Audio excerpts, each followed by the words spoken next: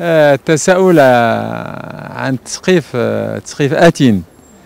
آه، تنتمنى يكون شي لقاء قريب جدا ربما نشوف واش يمكن الأسبوع المقبل مع الشركات باش فعلا آه، نديروا الاتفاق الأخير لأن الآن غادي يكون مشكل تقني فين آه، النقاش الدقيق في النقاط آه، معينة.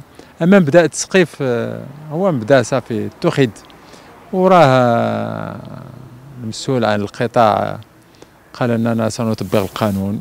ايوا ارتفاع الأسعار ماشي بيدينا عاوتاني غتقولوا لنا ارتفاع الأسعار. ولا ارتفعت الأسعار البص- البصله والبطاطا اش غنديروا واش أنتم الآن؟ الأسعار الحاجة اللي مستوردة مستوردة. الحاجة اللي كنتحكموا فيها كنتحكموا فيها. ما تنتحكموا ما كاينش شي شركة اللي غتبيع لك بالخسارة. كاين شي واحد اللي غادي يبيع لك بالخسارة. إذا أنت خاصو يربح ولكن يربح في حدود معينة. ماشي يربح على حساب المستهلك. إذا نقولوا نعم الربح.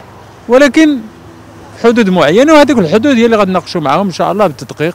أما بدا التسقيف ما نعرفش شكون تيكتب أن الحكومة تراجعت ما تراجعت.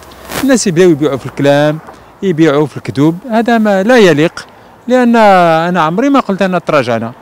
قلت تسقيف متوافق عليه لأن كنت نقول لكم كاين واحد العصبيه إلا ضربت بها غتهرس خاصني نجيب للمغاربة شي حاجة اللي تبقى.